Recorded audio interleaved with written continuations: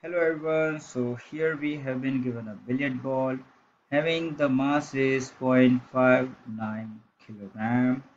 And it is